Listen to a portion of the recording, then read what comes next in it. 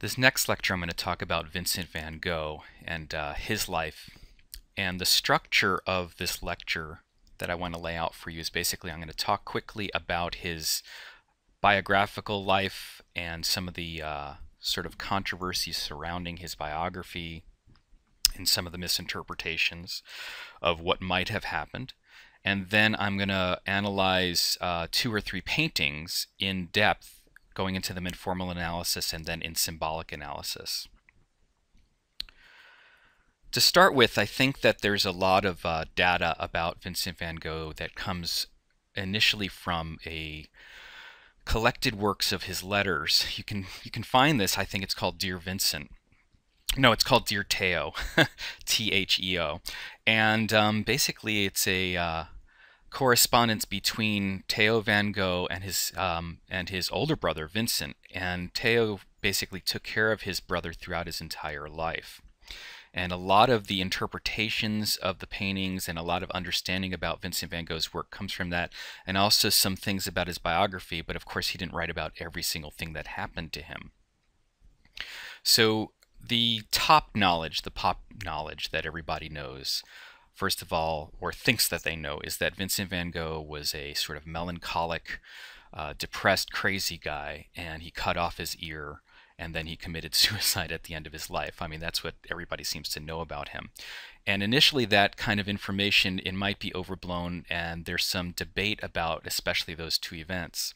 For instance, um, recent data, recent factual evidence has sort of come to light that it's possible that he got into a fight with his roommate Paul Gauguin, and Gauguin actually was an expert fencer and might have sliced Vincent's ear. So maybe that high point, which is a really dramatic story, doesn't count. And then the end of his life, where he seems to be depressed, and there's some accounts about him uh, being in a cornfield and saying he just couldn't take it. I can't do it. I can't do it. It can't be done. It's impossible. Um, and then he shot himself in the stomach. Might also be a misapprehension of some of the facts because some evidence has come to light to suggest that he didn't shoot himself but was accident accidentally shot by two young boys and um, he liked those kids and basically maybe it was one of those incidents where kids are playing with guns and he got shot accidentally and he was covering for them Nevertheless, his life makes a good story, and I think that's kind of important stuff to discuss. So let's go a little bit into his life. Um, and what I'm using as the source to look at his life as sort of as an armature for this uh, part of the lecture is um, from the Van Gogh Museum. And you can see the URL at the top of the uh, page there. And I'm going to just use it as the armature for the biographical part.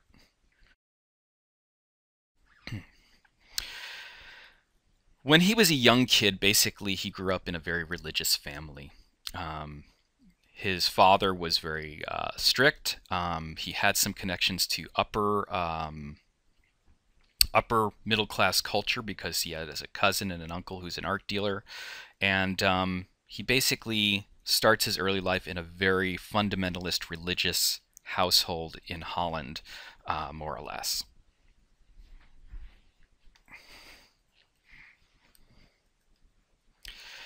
After a while, he grows up, he's fairly educated, and he begins to uh, decide he wants to leave, and so he goes to Paris.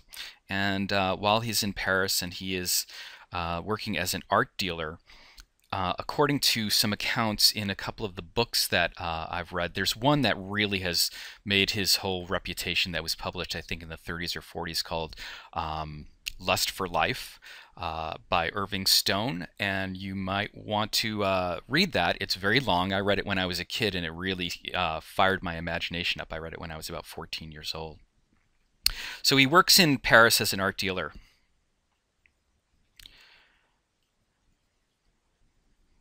And then he ends up moving to um, London, where he continues to work, and then he gets into trouble with some young woman he falls in love with, and there's all kinds of uh, problems um, with his social interactions with people, and it's suggested in the novel that he basically was stalking uh, the daughter of one of the uh, women uh, in the boarding house where he lived. And so he might have started to kind of go nuts. There might have been some things going on with him that made him behave and act in a socially awkward way. And Irving Stone certainly plays that up in the in the novel, and you can see shades of that in some of the letters.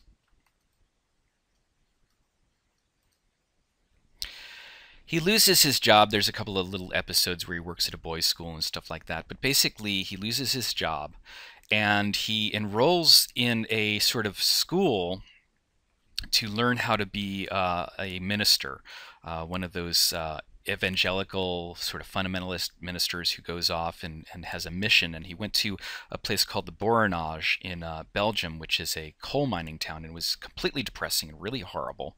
And um, he gave away all of his stuff, according to the letters. And um, so he's working as a preacher. He's he does draw, but he's not really interested in it in quite the same way. And he has a, a psychological and physical meltdown. And his younger brother Theo rescues him. So he goes through these phases where he decides that um, the one thing he can do is really become a, an artist. And um, so he decides he's going to um, start studying and doing his thing. His, uh, his brother Theo is uh, supporting him financially. And he ends up falling in love with his cousin, and it seems like he was stalking her as well. So there's some weird stuff going on there. And um, so the end result his um, he becomes more and more crazy, I guess, and associates more with street people who would be more accepting of him.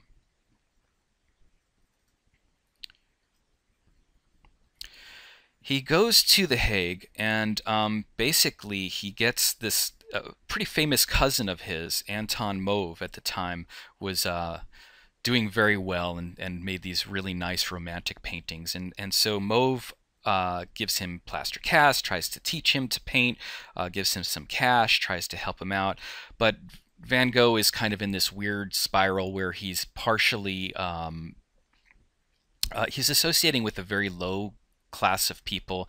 He's socially awkward, um, and he has a hard time dealing with it.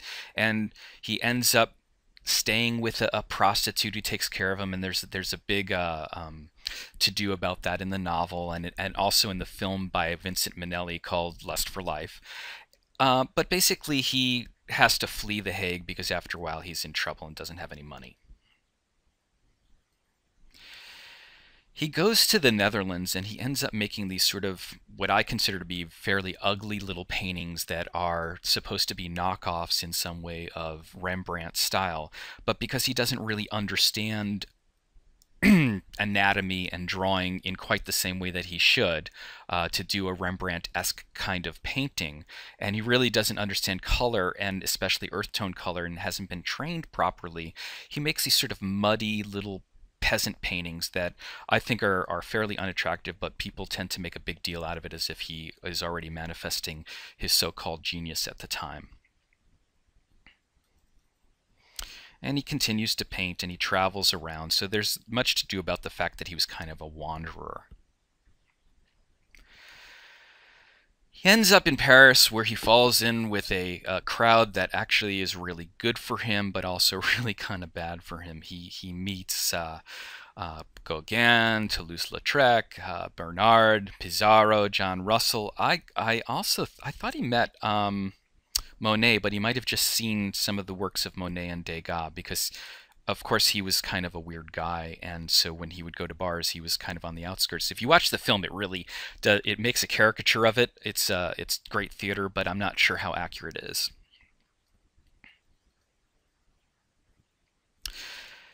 After his influence by going to Paris and seeing, um, especially Seurat and Monet, he has a total epiphany in terms of painting. And I think this is what leads him to do his really revolutionary stuff, where um, I think there's a combination of the fact that he's kind of out of the art world because he'll move to Arles after this. And um, he is just doing what he does best. But since he doesn't have a lot of people critiquing him and giving him a hard time, he just keeps working and working and working. And he's the hardest critic on himself that he could be. Like Rembrandt, one of the things that he does a lot of, and I think this is pretty cool, and I've been showing you some of these, is um, is his series of self-portraits, and like Rembrandt, these self-portraits are kind of psychological and kind of show where he was at during his life. He continues to experiment with color. Uh, he does a lot of uh, textural things. He sort of steals little passages from Paul Seurat and from Monet. Um, I I don't think he's related really in his painting to Cezanne, who was working around this time period, but maybe Manet had a bit of an influence too.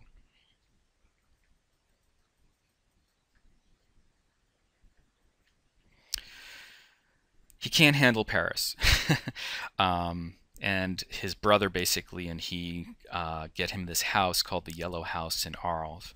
And um, he ends up living with Paul Gauguin there and when he Paul Gauguin comes to visit him, he does a whole room of sunflowers for him and and makes all these beautiful paintings. It seems like he was painting literally like an obsessive compulsive. And what I'm talking about is he kept working so much that he would um, sometimes make two to three paintings a day and a bunch of sketches. He just couldn't stop. And in the act of making so many paintings, he really did learn how to become quite a good painter. You can see that some of the, um, there's some awkward things in, in the painting, there's some awkward drawing and, and passages, but intuitively he really had an ability and a talent um, there's an author named Malcolm Gladwell who talks about the idea that you need to do something for 10,000 10, hours to be good at it. And he cites a whole bunch of famous people, including uh, Bill Gates and, and Jobs and stuff like that. Um, but I think Van Gogh painted so much that he really began to discern uh, color things, really understood some things. Um, but he has a, a, fallout with Paul Gauguin, and uh, eventually he has to leave uh, because he got into some kind of um, argument with Paul Gauguin, and and the, and the problem is is that it seems like he might have cut his ear. Um, he might have given it to a prostitute. We're not really sure, but uh, we know that he kind of had a meltdown. And the specifics around the story seem to be that he got into some kind of argument or some kind of row in a bar or uh, at home with Paul Gauguin. And then the next morning, when the police come, they see Van Gogh is uh, in his bed um, with his ear bleeding and he's nearly dead. And Paul Gauguin seems to um, deny any knowledge of what happened and took off. It's very possible that he might have picked up a sword and cut his ear.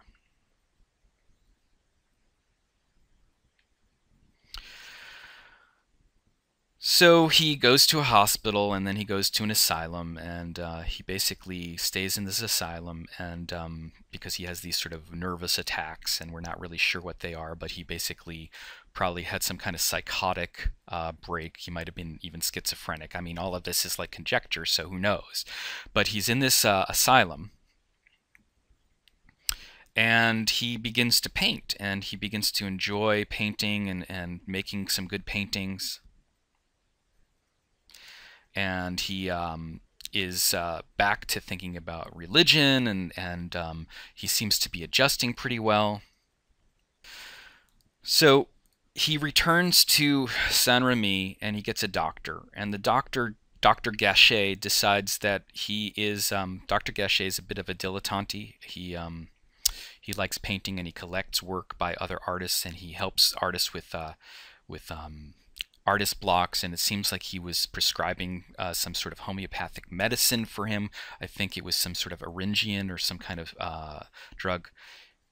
In fact, um, there's a painting that uh, shows uh, Vincent um, or Dr. Gachet sitting in front of a plant that some uh, botanists have said is a, a drug that was used to treat him. So what happens is the doctor decides that he should work as much as he can and that will help him. And he paints so much that he basically seems to have a flip out and seems to be having episodes if you believe the biographies. But um, the biographies make a big deal about this cornfield with crows as a uh, iconographically it kind of shows that he um, the crows symbolize death and he's about to die, and some of his letters sort of indicate a lot of depression.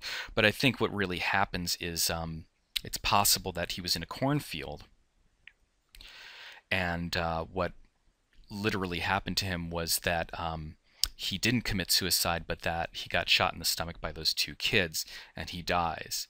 Nevertheless, it it seems like he might have um, uh, really did commit suicide, or that there was definitely mental illness in the family. Because after he dies, his younger brother basically has a meltdown and and, and dies too. Um, and uh, and I think that there was some kind of codependent link between the two. I'm sorry if this is a very casual kind of uh, biography of, of the life and times of Van Gogh, but this is kind of how I see it. And I think sometimes too much is made of his genius. In this next section, what I'd like to do is uh, analyze uh, three or four of Van Gogh's paintings. I suppose you should call him Vincent because Van Gogh means literally from Van Gogh. Uh, but anyway, um, what I'd like to do is analyze um, a couple of his paintings in terms of their formal qualities, meaning paint quality, line, color, texture, that kind of stuff. And then I'd like to talk about the iconography. And so this painting, which was also the subject of a song called Starry Night by um, Don McLean, uh, is probably one of his masterworks. It's very recognizable. And if you look at the painting, I think the first thing that you'll notice is the color is kind of posterish. And I have this suspicion that one of the reasons why Van Gogh's paintings became so popular, especially in the 30s and 40s, where they were so um, clear in their color and line that they reproduced very well in art books and on posters. The other thing is when he died, he left a lot of work behind, and it was like a complete body of work because I think he had only sold one or two paintings his whole life. So in terms of the line quality, the first thing that I want you to see is he uses a lot of paint texture, and you can't really see this in um, in a reproduction. It's kind of hard to see how well uh, how thick the impastos and, and sort of lines are, but you can see that the sky is almost a series of dashes and dots that kind of combine in your eye using optical mixing, which is a, a technique that is somewhat like Seurat, and also somewhat like Monet and Degas, especially Degas in his pastel technique does this. So he's using these counterbalancing sort of swirling lines in the sky um, to describe how he saw the, the sky. And there's a letter in which he kind of talks about this. And um, the counterbalancing sort of curvilinear S-curve lines in the sky make it feel very active and alive and those lines are kind of echoed in other places throughout the painting. For instance, the cypress tree on the left-hand side has these sort of flame-like pattern of lines going up and, and into the, the stars in the sky above even the mountains in the background kind of have some cross contouring and uh, some lines that seem to echo uh, the soft, gentle curves in the sky. Then you get to the church and the buildings below, which are actually geometric forms, very blocky, uh, very clear, and everything seems to be even kind of outlined in his painting. So that's kind of almost diagrammatic, it's almost poster-like, it's almost cartoon-like in how he's handling things. But he does use some optical mixing in the color, but he tends to use almost straight out of the tube color quite a bit.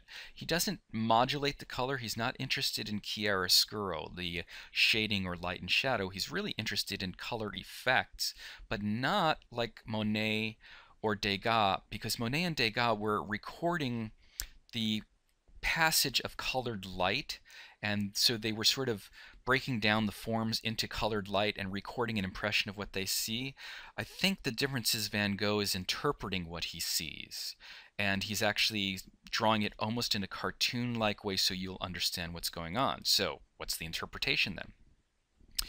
Well, based on some things from the letters and based on from uh, some interpretations, probably the the cl uh, closest interpretation that I feel is reasonable is the fact that it has to do almost with a story that comes from St. Augustine, and we when we studied Masaccio, uh, and we talked about the city of God and the city of man, according to St. Augustine um, in his text, basically, remember, Vincent was a very religious man and had studied a lot of theology and understood religion, and he talks about this quite a lot. And for him, the landscape was a symbol of God's will, and almost reaching back to Caspar David Friedrich in a way what Van Gogh is kind of doing is is making a statement that the landscape stands for the power of God in a way.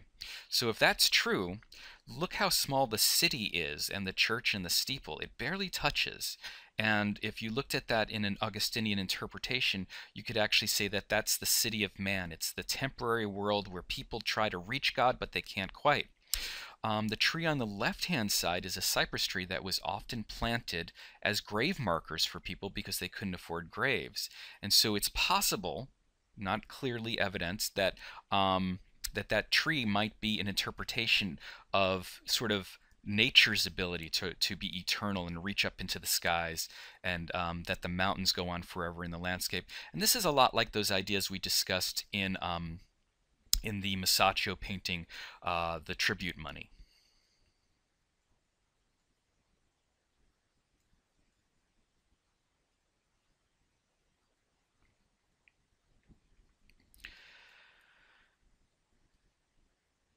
I wanted to discuss um, one of Van Gogh's self-portraits a little bit more in depth because I think that it, it really pays to take a look at it and think about it in a real way um, as a formal object.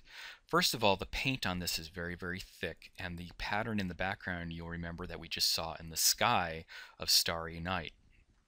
And if you get closer to the face, one of the things that you'll see is he breaks the pattern of marks down almost like they are Degas' marks when Degas or Mary Cassatt um, uses pastel to describe the modeling of shade and pattern and light and shadow on the face.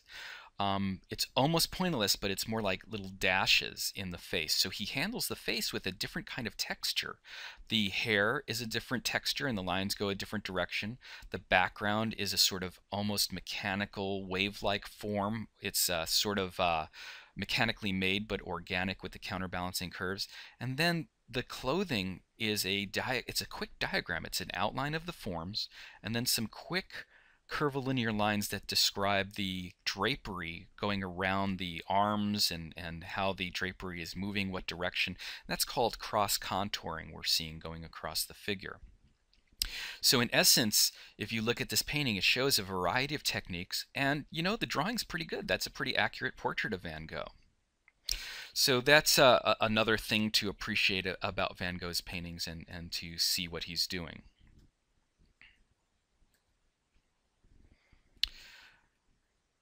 Now, just to return for a moment to his former period as a sort of contrast, these potato eater paintings that he did before this show I believe, a real lack of skill. Uh, he's learning how to paint, and he's and because he's a, a master painter, people want to see early signs of genius in this. But I, I've seen uh, students' work that looks just as awkward and just as weird. I mean, there's something kind of cool about the line quality and how blocky he does things, the caricaturing he does. But I don't think it's a very good painting, and uh, he certainly doesn't have a handle on color, even low-key color.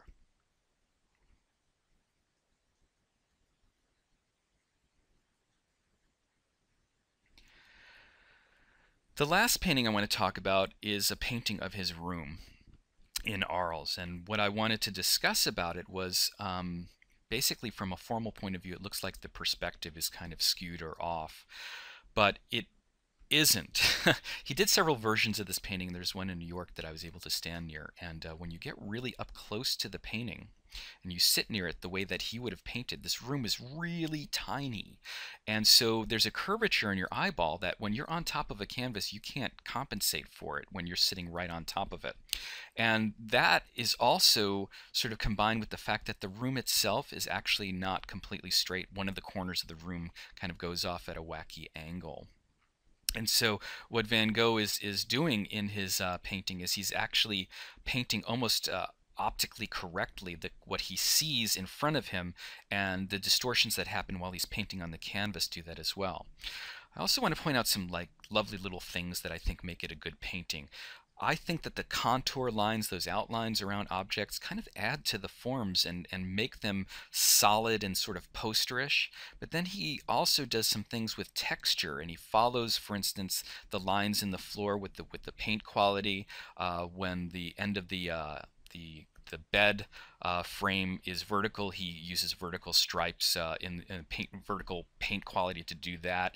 Um, and it really has an intimacy. And the color sense is really kind of cool. If you think about the color that Van Gogh uses, he tends to use really bright, intense, saturated colors, but he likes to play off warm and cool relationships. For instance, that bed is sort of an orange, and then the walls are blue, and that really makes that bed project forward, and it makes it a much more interesting painting in some ways.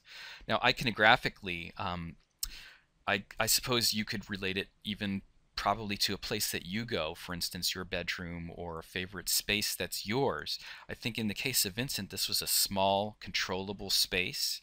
He could have his artwork. It was he set it up very orderly. Um, and I think it was a safe place for him because that's the feeling I get from looking at the painting. Of course, I'm being a little interpretive here, and, and there's a possibility that that may not be the case.